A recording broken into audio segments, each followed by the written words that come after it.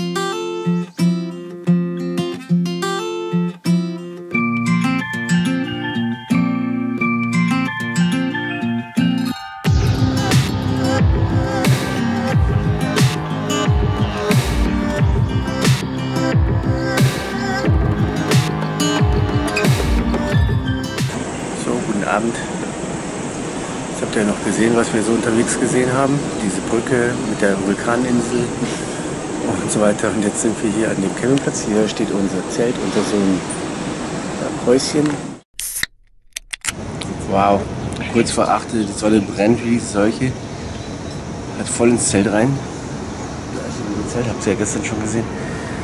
Ähm, ja, das können wir euch mal kurz hier ein bisschen zeigen, wo wir sind.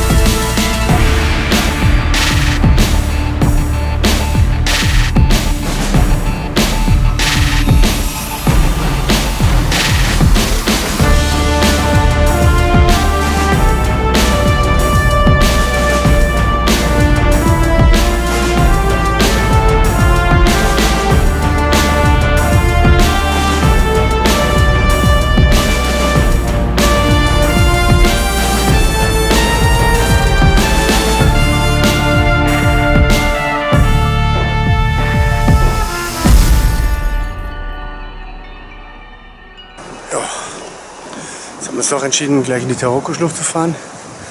Haben unser Zelt aufgestellt. Ähm, weil der andere Campingplatz, der war zu, der im Fluss, wo wir uns ausgesucht haben. Der Fluss war Wahnsinn, der war so glasklar. Ein blaues Wasser, Wahnsinn. Aber leider geschlossen. Deswegen sind wir jetzt hier, machen jetzt den Duchamp Trail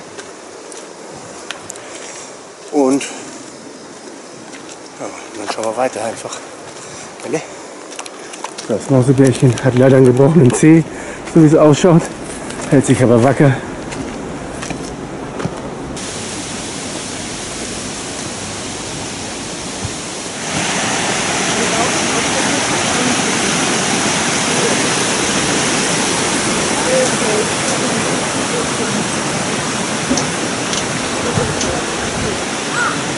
Also die Brücke hier, die wir gerade begangen haben, die ist nicht geeignet für Leute mit hohem Blutdruck, wenn du schwanger bist, wenn du physisch nicht mehr ganz so bist, wenn du Herzprobleme hast.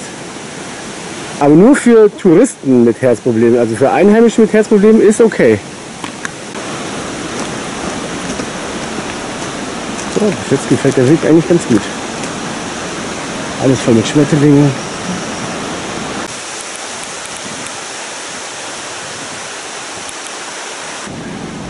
Jetzt kommt gleich das erste Highlight. Ein 25 Meter langer Tunnel. Sieht man das Ende? Man sieht es nicht. Wir brauchen also Stirnbänder. Ja, es wird ein bisschen feucht.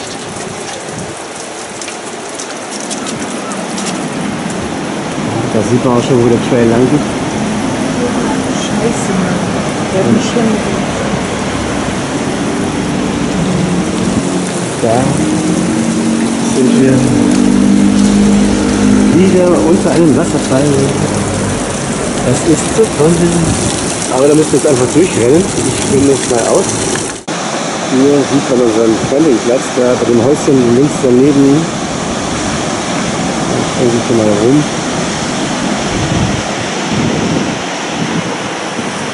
Der Höhle da hinten kommen wir, da ist der Wasserfall. Ah, Wasserfall.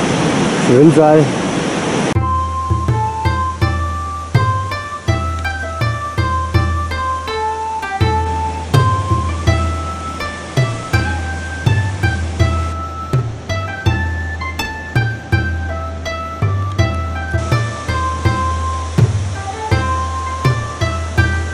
Ja, ein Highlight des nächste, dann ist wieder ein Wasserfall.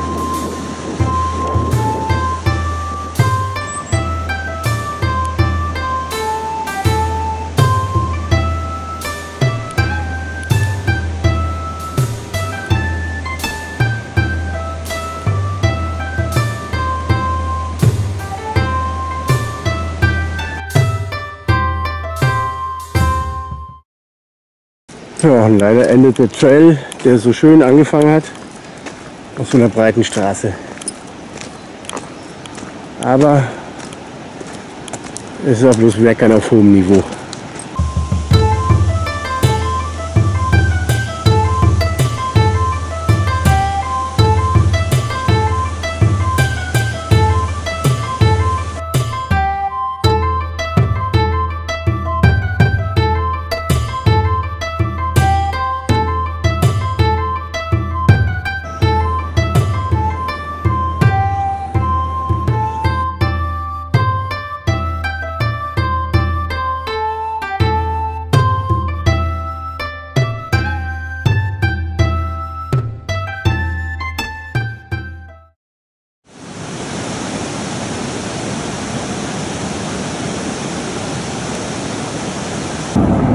Erst einmal einen Kilometer durch den Tunnel.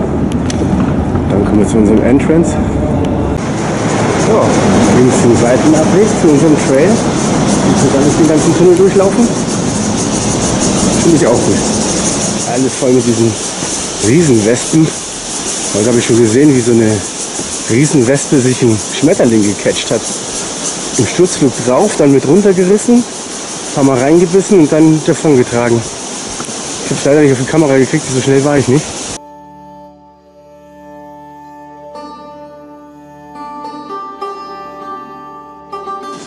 So, hier müssen wir jetzt rüber. Wird ein bisschen abenteuerlich, glaube ich. Keine Pfütze, keine Süß, keine Schwangeren, keine Herzinfarkte. Alle dürfen da wieder nicht.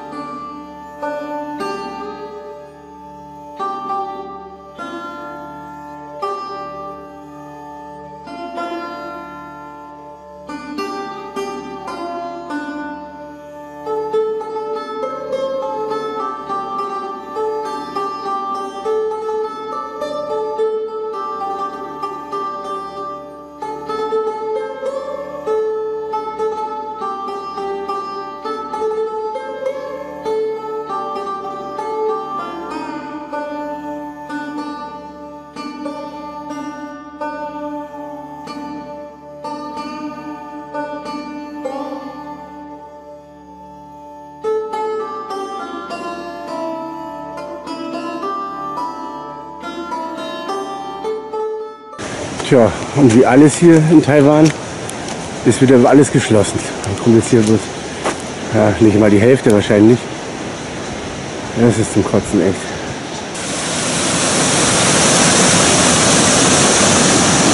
Oh. Jetzt geht's hier auf, bis wir dann da oben die Brücke machen können.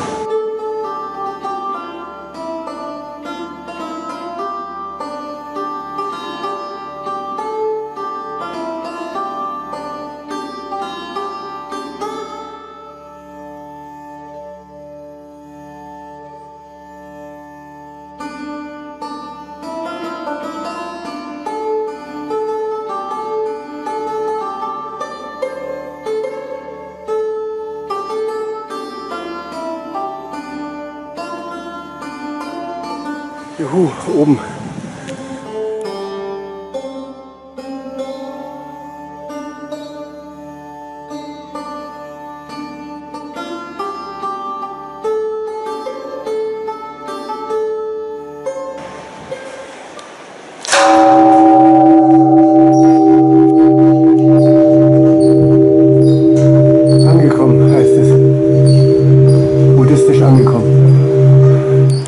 Normalerweise wird jetzt hier der Rundweg weitergehen, aber wie immer hier in Taiwan ist die Hälfte einfach geschlossen.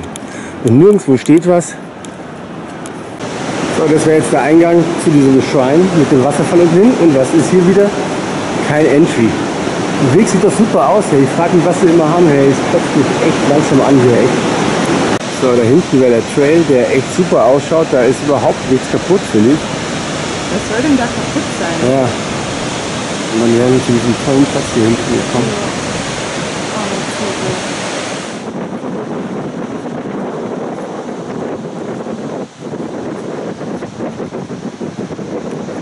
So, nachdem wir jetzt da irgendwie eine halbe Stunde gewartet haben und der Bus eigentlich nach fünf Minuten hätte kommen sollen, laufen wir jetzt einfach. Das ist so ein verplanter Scheißhaufen hier. Das kann man sich gar nicht vorstellen.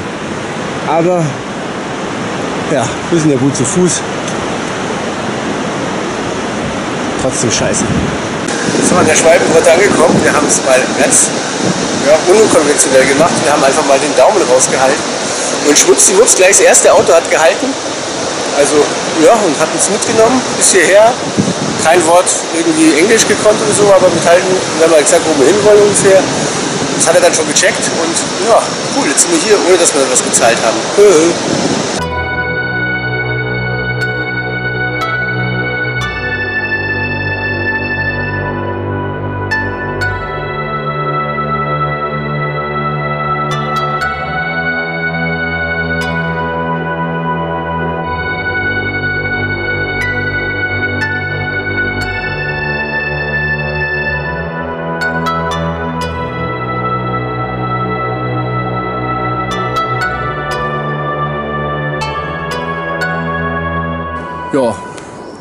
Wir sind natürlich von dieser Schwalbengrotte durchgelaufen, weil wir gedacht haben, vielleicht ja dahinter auch gleich nochmal eine Bushaltestelle, aber Pustekuchen.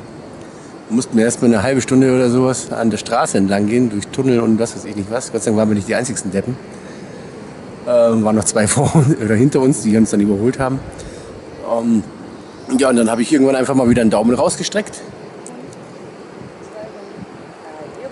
Und schwuppdiwupp ein Thailänder angehalten, ein Pärchen mit drei Kindern. Und wir haben gesagt, hey, okay, seid voll, komm, fahrt weiter, passt schon, alles ist cool. Wir kommen schon irgendwie nach oben. Und dann haben sie 100 Meter später angehalten, haben den kleinsten auf den Schoß vorne genommen. Die zwei Kinder mussten zusammenrutschen, damit wir zwei Dicken noch da hinten reinpassen. Wir haben gestunken wahrscheinlich, weil wir jetzt den ganzen Tag geschwitzt haben. Und ja, die kamen dann aus Thailand, aus äh, in der Nähe von Laos. Und die haben uns dann halt zu unserem Auto gebracht. War eine super Aktion, war cool von denen. Ähm, ja, und jetzt sind wir hier halt hoch zu diesem Jiang, Wan Jiangqing Typen hoch. Das ist so der chinesische Hofer, der Nationalheld. Irgend so ein Märtyrer, irgendwas hat er toll gemacht.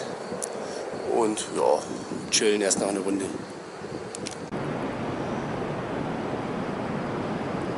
Das sind die zehn Gebote, die chinesischen, in Stein gemeißelt.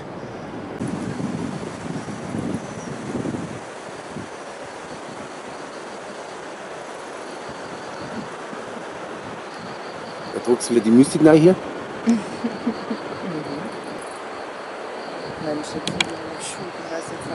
Ja, das geschulte Wasserfallauge hat das entdeckt. Guten Abend. Ähm, ja, wir sind auf dem Campplatz Platz wieder. Und heute sind wir ganz alleine. Gestern war echt der ganze Platz voll eigentlich dann. So mehr oder weniger. Und heute sind wir ganz alleine. Jetzt haben wir vorhin noch im 7-Eleven uns so ein Fertigzeug reingehauen. War eigentlich gar nicht so schlecht. Und ja, jetzt verbringen wir den Abend noch hier, gehen früh schlafen. Morgen wollen wir noch so heiße Quellen abchecken. Haben wir von so einem Typen vorhin gehört. Die sollen echt gar nicht so weit weg und auch voll einfach hinzukommen sein. Und in der Früh und so soll es eh voll schön sein. Ja, und das werden wir mal abchecken, ob wir das finden. Und ja, genau. Ja, dann sehen wir uns morgen wieder. Mal schauen, vielleicht kommt ja noch jemand. Seht ihr es? Ja, ein Glühwürmchen. Ein ganz schöne Brummer hier. Die sind schon so zwei Zentimeter groß.